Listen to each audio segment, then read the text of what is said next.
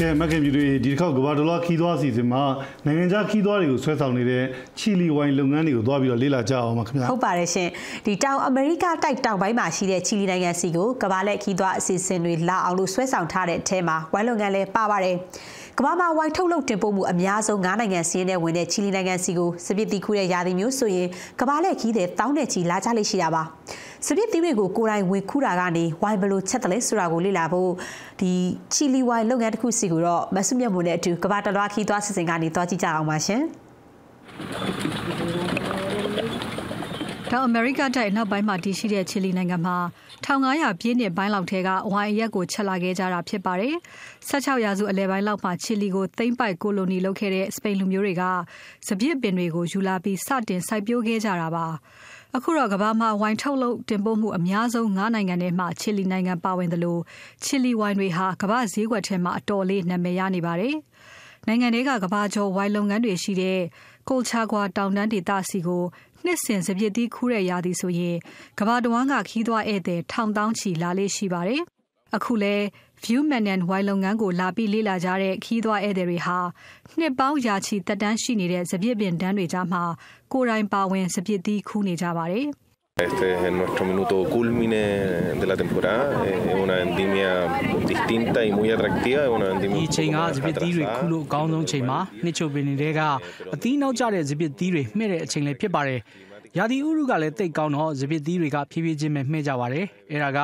ဝိုင်းကောင်းကောင်းချက်နိုင်ဖို့တိတ်ကိုအရေးကြီးပါတယ်။နိုင်ငံတကာမှာတောက်နေကြတဲ့နာမည်ကျော်ချီလီဝိုင်းတွေချက်နိုင်ဖို့ခရမ်းရင်ရောင်မှဲ့နေတဲ့စပစ်သီးတွေကိုခုလိုကိုယ်တိုင်ခူးဆိုပြီးတော့ဝိုင်းချက်ပုံအစင်စင်ကိုကဘာလှည့်ခီးတွေငွေကုန်ခံပြီးတကူးတကလာလေးလာနေကြတာဖြစ်ပါတယ်။ muy lindo eh, ver todo el proceso de cómo producir el vino. စပြည့်ချံရှူခင်းအလှရဲ့ဝိုင်းချက်ဖို့ဘာတွေအစင်းစင်းလုပ်ဖို့လိုတယ်လဲဆိုတာသိရတာ အရန်စိတ်ဝင်စားဖို့ကောင်းပါတယ်စပြစ်ခိုင်ညက်တဲ့ကတ်ကြီးထက်ထက်နဲ့မှဲ့နေတဲ့စပြစ်ခိုင်တွေကိုနေရအောင်မှာကဘာလက်ခီးတွေစ조사ခူးနေကြတာကိုအဝေးကနေစောင့်ကြည့်နေကြတဲ့စိုက်ချံအလုပ်သမားတွေကတော့ဘလောက်အားထုတ်ခူးဆွရတယ်လဲဆိုတာကိုကောင်းကောင်းကြီးသိကြပါတယ်။တမိုးရှိတဲ့စပြည့်ခိုင်တွေကိုပုံပြတ်မသွားအောင်ဧည့်သည်တွေကဂရုတစိုက်ခူးပြီးတော့တစ်သားဘုံတွေတဲကိုထည့်ပေးကြရပါတယ်။ ဧည့်သည်တွေစုစုပေါင်းခူးကြတဲ့စပြည့်သီးအလေးချိန်ကီလိုဂရမ်900လောက်သာရှိပေမဲ့ကျွမ်းကျင်အလုပ်သမားတယောက်ဆိုရင်တနေ့ကိုကီလိုဂရမ်900ကနေကီလိုဂရမ်2000လောက်အထိခူးနိုင်ကြပါတယ်။ Es una experiencia maravillosa, una experiencia única ဒီ que လို no ထူး pueden ခြားတဲ့အတွေ့အကြုံမျိုးကအခွင့်အရေးရရင်ကြော်မသွားသင့်တဲ့အတွေ့အကြုံမျိုးပါ ဝိုင်းတော့ပြီးတော့ဒီဝိုင်ရအောင်ဘယ်လိုအစစ်စစ်လုပ်ရတယ်လဲဆိုတာတော့သိထားသင့်ပါတယ်1935ခုနှစ်ထဲကတည်ထောင်ထားတဲ့ View Manan စပြစ်ချံကချီလီဝိုင်လုပ်ငန်းရှင်များအသင်းကပေးတဲ့2018ခုနှစ်အကောင်းဆုံးဝိုင်လုပ်ငန်းဆုကိုရရှိထားတာပါ။ San Diego မြို့တော်ကနေတောင်ဘက်မိုင်90လောက်မှာရှိတဲ့ဒီစပြစ်ချံကိုတစ်နှစ်တစ်နှစ်လာပြီးတော့လေ့လာကြတဲ့ကဘာလှည့်ခီးသွား 3000ခွဲကျော်ရှိပါတယ်။ San Diego ကနေကားနဲ့လာရင်နှစ်နိုင်လောက်ကြာတဲ့လန်ခီးတစ်လျှောက် ဧည့်သည်တွေအနေနဲ့အဲဂီဟာရီစားတောက်ဆိုင်တွေမှာ နာမည်ကျော်ချီလီဝိုင်မျိုးစုံကို မြည်ဆန်းတောက်နိုင်ကြပါတယ်။ အကောင်းဆုံးဝိုင်တွေထွက်တဲ့ကိုချာကွာတောင်ကြားဒေသကို မြင်းလှဲတွေ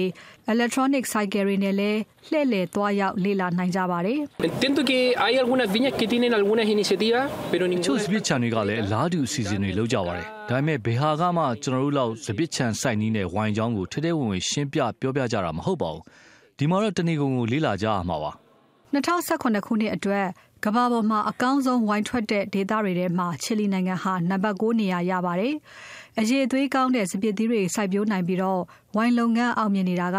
ချီလီနိုင်ငံရဲ့ပထဝီအနေအထားကြောင့်လည်းပါပါတယ်။အရှေ့ဘက်မှာ Andes တောင်တန်းကြီးအနောက်ဘက်မှာ Pacific သမုဒ္ဒရာတောင်ဘက်မှာအန်တာတိကတိုက်မြောက်ဘက်မှာကမ္ဘာမှာအချောက်သွေ့ဆုံးသဲကန်နာယာကြီးရှိနေတဲ့အတွက်စပြစ်ပင်တွေကိုထိခိုက်စေတဲ့ပိုးမကျစေတာဖြစ်တယ်လို့စပြစ်ပင်စိုက်ပျိုးနည်းကျွမ်းကျင်သူတွေကပြောပါတယ်။ တချို့ဝိုင်လုပ်ငန်းလုပ်သူတွေကပို့ပြီးတော့အရသာထူးတဲ့ဝိုင်အရက်ထုတ်လုပ်နိုင်ဖို့အတွက်ရာသီဥတုအေးခဲတဲ့တောင်ပိုင်းကနေခြောက်သွေ့တဲ့မြောက်ပိုင်းအထိမတူညီတဲ့အပူချိန်နဲ့မြေအနေထားတွေမှာမကြခင်နှစ်ပိုင်းတွေကစလို့စမ်းသပ်နေတာတွေလည်းရှိပါတယ်။ချီလီနိုင်ငံထွက်နာမည်ကျော်ဝိုင်အမျိုးအစားတွေထဲမှာတော့ Cabernet Sauvignon, Chardonnay, Sauvignon Blanc, Cabernet, Pinot Noir တို့ပါဝင်ပါတယ်ရှင်။